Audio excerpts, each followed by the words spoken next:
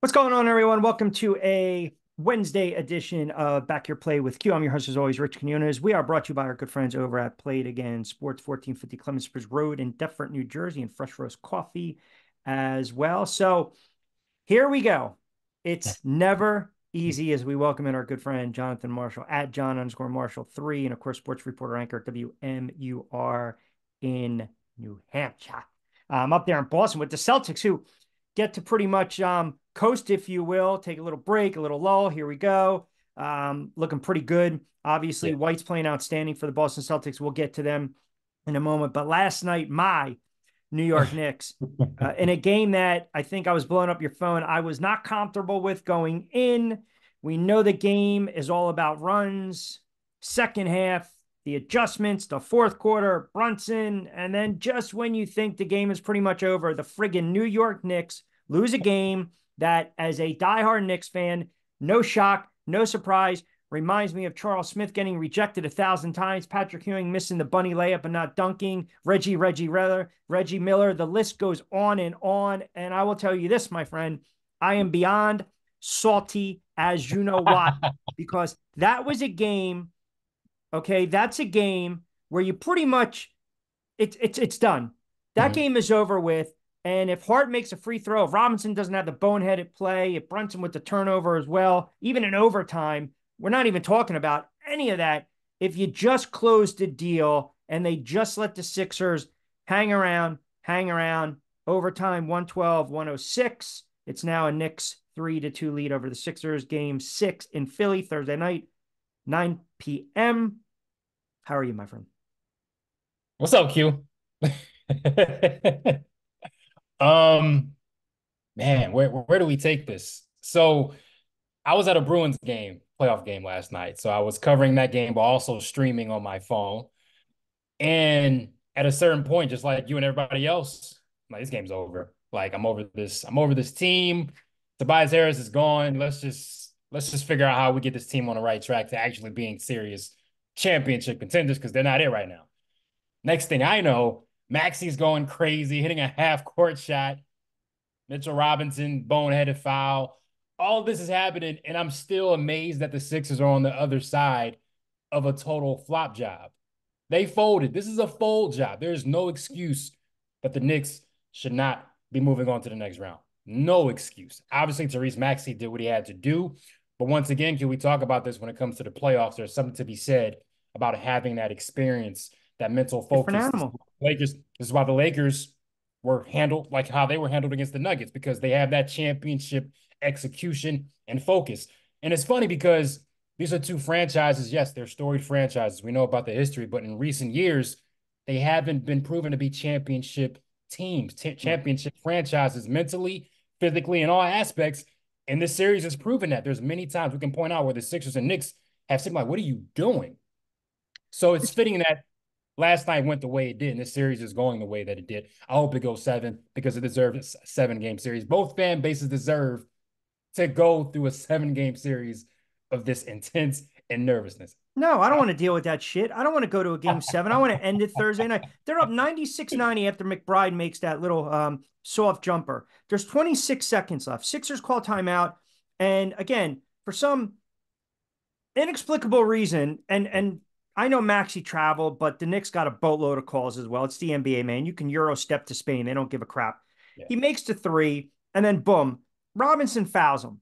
I mean, it's shades of Miller with, you know, eight seconds to go, like years ago. I'm like, what are you frigging doing? And then again, to make matters worse, why, when you turn around after Batum had the foul, Hart makes one of two. He hmm. makes mm. two.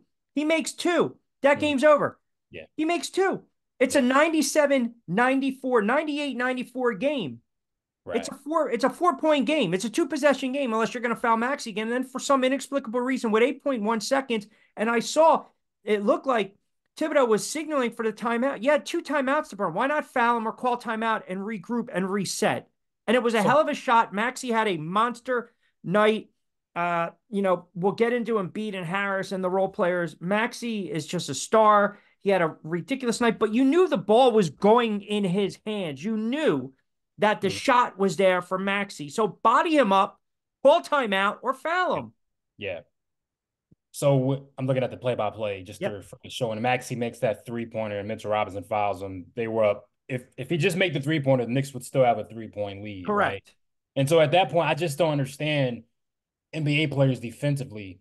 They always they're all they're you always, they're always falling for the pump fake or they're always doing stupid things like Mitchell Robinson did last night. I don't keep your hands up. What Don't you leave doing? your feet. There's no excuse. Like, why are you panicking and trying to contest a three point shot, knowing these things have happened and will happen? Larry So I- I don't- Johnson, I don't- I don't- 1999. I don't. So I don't understand. But what- once once again, once again, can we talk about this in the heat of the moment when the pressure's on? Some guys just mentally they they black out, and that's what happened by Mitchell Robinson. There's no excuse. Keep your hands up. You're seven foot anyway. Whatever. Put your hands up. If he makes it, whatever. You still have a three point lead. You get the ball. You're gonna get fouled. There's no reason to all out contest on a three point shot. No reason. I- I mean, I it, it was a brutal loss, man. And then you go into overtime, and even when they have the lead in overtime, and this is where I went batty, and my friends do it just to get under my skin. Rule of thumb, man, leave me to f alone in crunch time, right? Don't send me to friggin' under four minutes to go in overtime. Congratulations, good series. Like the reverse friggin' mush. And by the way, that friend is dead to me. He's like Fredo and Godfather too. He broke my heart. Um, I'll deal with him later on. Um, but yeah, I just I didn't like the fact that even all game long, the Knicks settling for a substantial amount of jump shots. I think I text you when Embiid went for that breather. I said this is the time where you have to keep attacking the tin, and that's when they had to lead up to five, which you think almost felt like ten points. They Yeah. could not close the deal, and that's what's so frustrating and perplexing. You look at that overtime; they're up 102-97, and then again, Maxey brings them back with another three ball, right? Now the Knicks are up by two. They couldn't make any of their shots back and forth, back and forth. Embiid goes to the line, makes two of two. I'm sorry. Um, yeah, it's a 102, 101. And then they leave um, uh, uh, um, um, Kelly O open, right, for that little dunk underneath. They're up by one. And then after you had a horrible um, uh, possession, Brunson turns it over. Um, Maxey misses the uh, the layup. Batum gets the rebound, and then Embiid, who's done nothing all night long. I mean, it was a smoke and mirrors triple double because he also had, I think, nine or ten turnovers. Has the uh, jump shot, and then boom, they get to the line. It's insurmountable, and then you have that horrible turnover again by Brunson. And as great as Brunson is, and he's a great player, you Mhm. cannot, under any circumstances, as a guard, understanding the court. Uh, uh, acumen, right? Your your your court vision, get caught up in the air like that and throw the ball away. Uh, Last year he did the same thing.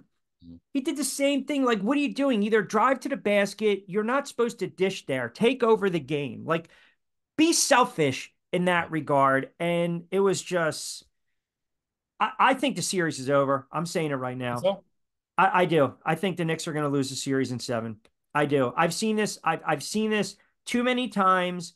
Yeah. They're they're going to and I don't want to hear this stuff about, you know, comparing them and I tweeted this out. Do not compare them to the 90s teams that are playoff tested that were in wars with Indiana, Chicago, Miami. You know, they're up 3-1 in Miami and you have the free for all and then they lose that series. I mean, you know, that that that was one of their turning points in their franchise. So uh, I I know this team all too well, and I love the heart and the guts and the gumption of this team, and I love the role players and no Randall and you know Robinson was banged up and he came back. Okay, fine, but don't compare different Yeah. eras and different teams. That there was a different game of basketball. This team does not have a track record Yeah. of getting punched in the gut and getting off the mat. So that's yeah, I, am sorry, and, and I'm gonna get hammered for this. Um, but I I I think I text you. I text my buddy. He says the freaking series is over. It's over. It's done. Seven Sixers. Here you go. the same rate, the same way you feel about the Knicks is the same way I feel about the Sixers. They will not fool me. Yes, Tobias Harris, He's horrible. job, right? Like you, He's so he's getting credit for playing above average because usually you're average, right? Like if one thing we can count on is Tobias Harris giving you 15 points, right? We can count on that. But you you made a couple shots late, you're getting credit. But this team will not fool me, Q. Like when you think they've turned the corner, they will break your heart. They will break your heart. Yes, game six in Philly, but they're gonna find a way to flop and break your heart. We, you know it, Q. You know it. I, I don't believe. I, I don't listen. Do I believe, and maybe I'm over panicking. I get it. It's still raw because it, it was just a brutal friggin' loss.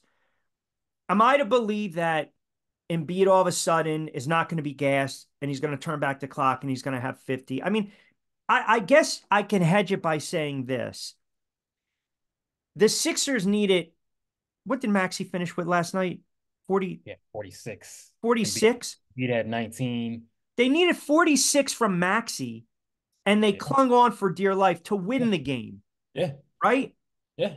The And- game was lost. The game was lost. Yeah, I I don't know, man. I I'm not going to sit here and say Embiid's going to go out and have 35 and 18. I let's let's go to Embiid for a second. Um Yeah. I don't get it. Mhm. I, I don't I, I do you not want the do you not want the ball? Yeah. You know, we know he's hurt, we know he's banged up. A lot of players are, but no one was making that excuse when he pumped in 50. I mean, let's let's you can't have it both ways, folks. And I know I'm going back and forth with people like this. And I love people who are like trade them, trade them, trade them when they're Yeah. about to lose. We talked about this a couple seasons ago. Even though he won an MVP, like you want to try to get some value for him. I don't think Joel Embiid is a winning player. Mhm. And I think he gets frustrated. I think he's careless with the basketball. He doesn't get back on defense. He's probably gas. I think he's a dirty ass player as well, man. He's reaching green status, right? With the nonsense. Um, but with all that being said, there are flickers and moments where he's still a player that won an M- NBA MVP. Right. And it's almost as though the Sixers fan and the faithful, they're trying to will that player to come back out. He wants no parts of the basketball Mhm. in the fourth quarter. Yeah. He wants no part of the basketball in crunch time. And to Yeah. me, if you're a face of the franchise, an MVP, you want to be an all time great, a Hall of Famer, you want to win rings and championships and be beloved in a city that will love you if you win, you got to demand the friggin' basketball. Now, I get it. You want to defer to the hot hand and Maxey, so be it. But there are times in the game where you need to get your ass on the low block and you have to want the ball. And Yeah. I don't see it from this guy at all. I don't think he has heart. I don't think he's a tough player. I don't think he's mentally tough. I think he's mentally soft and he's not mentally tough at all. And he just doesn't have that ticker. Maxey was like, F you, I'm going to will this team to a win. I'll take the shots from the friggin' parking lot at Madison Square Garden. Whereas Embiid just wilts. How do you explain that? Yeah, it, got to a point where I said every action from here on out for the Sixers half court needs to go through Maxey, right? Because you can trust, hey, all else fails, he's going to attack. He's going to at least shoot it. He's not going to just carelessly throw the ball. That those turnovers, he almost had ten turnovers. Q, no excuse. Because, but it comes from being mentally exhausted, mentally checked out, not being ready for that moment. Your body hurts. Okay, but you're out there. If you're not, you can't play, then sit down. That's that's Come on, man. Bill Russell, Bill Russell, Wilt Chamberlain, Walt Frazier, um, uh, Bradley, uh, Bird, Isiah, Magic, Johnson, Kareem. Those guys were banged up. Yeah. But they wanted the ball in the clutch. This Yeah. guy, my friend encapsulated it perfectly. He said Maxey is an alpha and a leader. Embiid was in give up mode and shrinks just like past history, especially last year's game seven. He is dead on accurate. there was there was low energy throughout. He like we were texting. I was texting my brother. I was texting a couple other friends. Like the energy level from the get go was the reason why they were facing that situation late in games. His energy effort, his energy level was low. And if that's your top player, your team is going to feed off of that energy. Correct. So if Embiid's your top player, you feed off of whatever energy that player is giving you. Like Minnesota, who's their best player? Anthony Edwards. That energy trickle trickles down. Yeah, I got. Let me cut you off for a second, brother. Yeah. I got news for you. Yeah. Embiid's not the top dog on that team. Nah, It's it has to be. Maxey, right? It has to be. It it it it and it it has to be Maxey. It Yeah. the the film doesn't lie.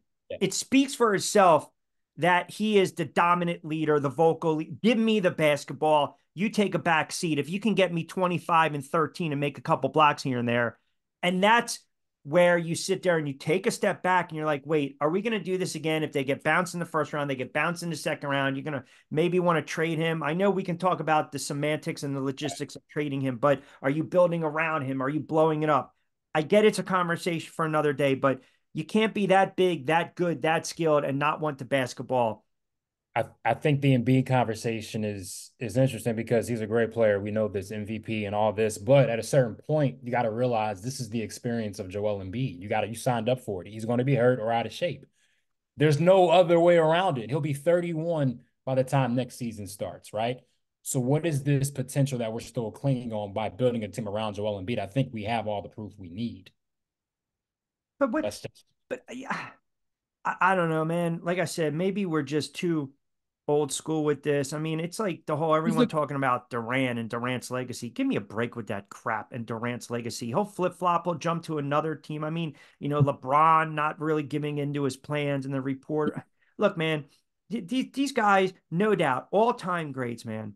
They're going to Naismith Basketball Hall of Fame, write it in. And, you know, Embiid, for the most part, you look at his career, you would sure. you would say Hall of Famer, correct? For sure, no okay. doubt. But put all that to the side. Yeah. You're playing for the Philadelphia 76ers. Yeah. You're comparing yourselves to the Moses Malones, the Dr. J's, the Allen Iversons, the Charles Barkleys, the Andrew Toneys, you know, the you know, the dogs. They want, you know, the you know, yeah. Andrew Toney, you know, the, the Boston Strangler, Maurice Cheeks, you know, Dr. J against the Lake, Moses Malone, you know, give me the Iverson wanted it, Barkley won you you you you've got to there's got to be a moment where uh, what was it the tin man or the scarecrow one of them didn't have any friggin' heart. one of you know you got to turn around and that light has to go on where you're like i am not going to be i'm going down but i'm going down my way yeah. like if he's got to take 35 shots yeah thursday night yeah. then you take 35 shots thursday night and at the end of the day you basically live with the outcome. Hey, it's still my team. I'm the leader. We're a great group of guys, but they put it on me and I let them down. I got fireworks in the background. I don't know how the hell that You're happened. on fire right now. I mean, what, what, that was something I, I was like, I mean, what are we celebrating? You're on fire right now.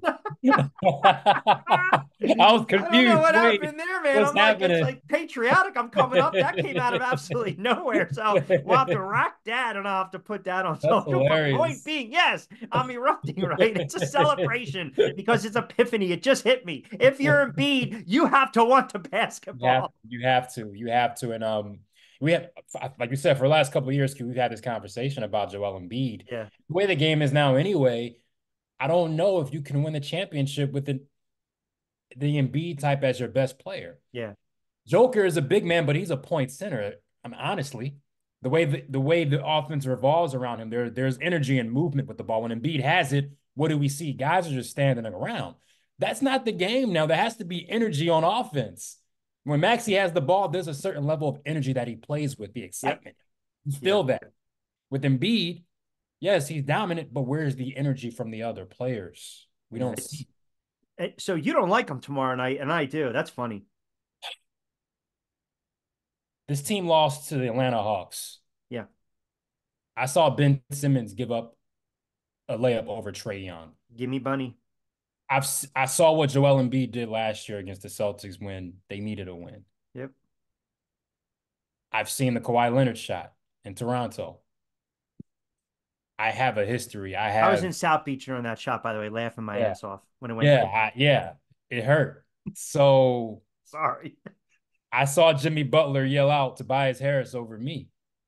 I've seen these things, like these things, and Tobias Harris is still on this team. That's how I know they're unserious. Yeah. And so until they prove me right, this is just the first round, by the way. I still don't think they would get past crazy. They, they, still have to get past the second round. The question isn't can they get out of the first round? They haven't been able to get out of the second round, Q. Yeah. What I've learned yeah. the most out of this series and what I've seen from the Eastern Conference so far, the Celtics, if they don't make the finals, they should disband that roster. I'm going to go one further. I'm going to go one further. If they don't win the championship, I mean, when you're getting that production from White like they are, and you still got Tatum and Brown. I know Porzingis is banged up. I get it, but they're kind they of don't need him. They, they, don't need him next round. No, I mean, listen, they're they they they the, the East. They got their win. The that's it. I can't take the East serious right now. I, if Giannis and Dame, the calf injuries, that's something that you that can go wrong at any given moment, right? The Pacers are young. They let Patrick Beverley and, and those guys cook them last night. The Magic are young. The Cavs, yeah, if Donovan Mitchell goes off for a couple games, they're wishy washy. It's Boston. The Knicks, the Knicks only have Jalen Brunson. Yeah. And the Sixers Embiid's body hurt. So yeah, the East really to me, it's the Celtics. You, you know what I find even in these playoff games, man, especially just focusing on the Knicks and the Sixers and you know watching you know the Bucks and the, these teams, man, they settle so many outside jump shots, man. It's ridiculous. Like sometimes you don't need the three, you know, yeah. and sometimes you're getting a clean look, and sometimes you're trying to force feed on. You know, you're going down. It's a uh, one on three, and what does he do? He steps back from three and he chucks it up. I mean, you know, DiVincenzo's he's had his moments. You know, the, the Knicks have some energy players, and I think you got to win the battle on the boards. I, this is a game where Brunson's got to figure out a way to take over as well. They got to do the dirty work. I, I love their grit and their hustle, but sometimes I question their shot selection. Yeah. And I think that's because, again, you know, OG has been fantastic. I love the energy, man. I, I love the energy that some of the kids are mm-hmm. giving them because I'll take Hartenstein and say uh, Robinson maybe getting in foul trouble if I know that I'm going to see some energy mm. uh, mm. from some of these guys. I mean, you you look right now you know, McBride gave him uh, energy. Um, Achiuwa gave him some ridiculous energy. I think Shaq mentioned, hey, the kid, if a kid's got 51 points in a series, that speaks volumes. That's energy. He gave him 14, or McBride gave him um, um, 14 the other night. Achiuwa didn't get in. But point being, uh, again, you know, you look at the series, he has given them energy. He's given them, a, you know, tough rebounds, points, dirty work. We're seeing that from this Knicks team, uh, the depth, right? And then you look at the Sixers. I mean, my goodness, you get 15 to 18 from Harris. You get your 25, 30 clean from Embiid and no turnovers, and you get 35 from Maxey. That's too much. Yeah. For the Knicks. Yeah. You know, is. and that that that's where I'm at. And I'm wondering again, are Knick fans going to invade Wells Fargo Center tomorrow night? Who knows? I don't like. Well, by the way, a nine o'clock start. What are we doing that's here? Insane. I'll be in That's, Philly calling the fights for Team Combat League. We got a nine o'clock tip off. What? What? what I mean, that's that's a West Coast time start.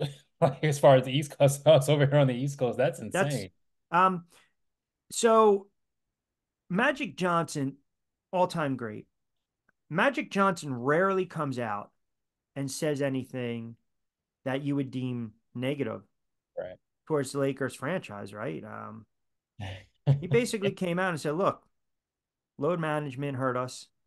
And then the one that kind of caught my attention was we're just not mentally and physically as tough as the Denver Nuggets. Now, I think we kind of all knew that, but when you hear it from Magic Johnson, yeah. who's got such equity and stake with the Lakers franchise and the NBA yeah. and the fan base, that speaks volumes. And I'm wondering, I don't know if he even has a relationship with LeBron James, but it's a good thing they got that title a couple years ago in the bubble, man, because it's just been an unmitigated disaster with this franchise over the last couple years. Yeah. I mean, look, we knew how this series against the, the Nuggets would go. Um, it's funny people keep harping on the Lakers. This is the closest 4-1 series ever and how the Lakers dominated most of the quarters. 10 years from now, we're not going to remember that.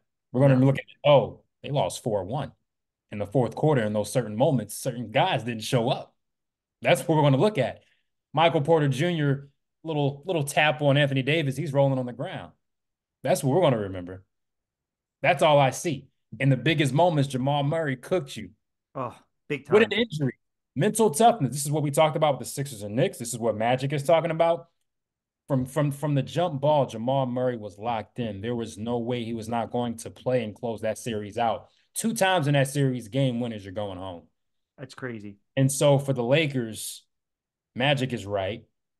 You're in that position because back in December or January, you're losing to teams like Chicago and San Antonio. So you mess around on the regular season, you're going to find out in April. Yeah. This is what happens. And so with the Lakers, the usual conversation Where's LeBron going to go? Oh, he's not opting out. Look at the not money. opting out. He's Look staying in LA. He's yeah. staying in LA. Are we going to get Trae Young or who? Look, you got to build a constr- you got to construct a team that makes sense. A basketball team. The Nuggets make sense. The Timberwolves make sense. The Thunder are a team. Yep. Like miss me with trying to build with the biggest names. That worked out for the Suns, right? You can't and win so like that anymore. Like you just can't. You got to have guys, multiple guys that can do more than one thing. You got to have guys that are basketball players. Look at the Thunder and how they play, right? Look at Denver. Like, I mean, these rosters make sense. They're well constructed. They've built through the draft and they've added free agents that make sense and they've developed their guys. The Lakers, name me one developmental guy they have right now. Austin Reaves, to me, I don't see him getting any much more bet. I don't, I don't, he is who he is at this point, right? Yeah. Hey, D'Lo, he has his moments, but you can't fool me. I know who you are. You're right. right. Yeah. like you, you, it's it's a really fascinating point you bring up because you mentioned um, Phoenix and it's like we're making moves for some of these players. We're trading, we're trying to acquire, we're signing into these max deals, and we're going on the premise that they're going to be the player they were five years ago. Bradley Beal's not that guy anymore. over. Right? Um, you know, now there's talk Booker is quote dying to play, you know, for the I mean, everything always comes out when you have a bad series, you get bounced, another disappointment. They're they're reaching Phoenix to me, you know, they're they're always going to get their 48 to 55 wins, right? 50, 52. I don't think Kevin Durant's a winning player. I think Kevin Durant's a front runner. Kevin Durant is not the same player he once was. I don't care. Everyone in the league can score 25 to 35 points on any given night. We've seen guys you've never even heard of pump in 45 and 50 this season, right? Uh, where years ago, if a Dana Barros scored 50, we were like, wow, my God, what yes. an effort. For... Yeah, it was huge, right? Point being, you know, Durant to me is such a friggin' front runner that he's probably looking around saying, all right, I mean, I'd have to check. Is he oh, yeah. signed through next season? I would have to double check that, but I, I believe, right. I think so. Yeah, I, will pull it up, but you know, he's looking around saying, he's definitely himself, looking. He's definitely yeah, where, where, where, where's the fit for me? Where's the fit for me? And quite frankly, I don't want Kevin Durant.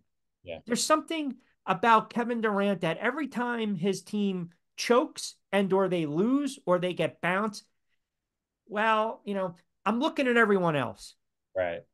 Yeah. But I'm not looking at myself. Right. Well, you know, X, Y, and Z. And, and then you're blaming, you know, when you start to hear players start to blame the load management, the injuries, hey, man, I don't want to hear any of that stuff anymore. uh, I, I don't, because after a while, it gets to the point where you're like, enough is enough. Yeah. Like, go out, ball. Yeah. Um, yeah, I'm, I'm going to try to see what Durant has left, but yeah, that's another disappointing end to the season for the I Phoenix mean, Suns. I mean, the Suns, everything that they everything that they're experiencing right now is exactly what they pay for. Right. I mean, how much did the Wizards? Bradley Beal is going to get paid fifty million. Crazy for what? For twelve points.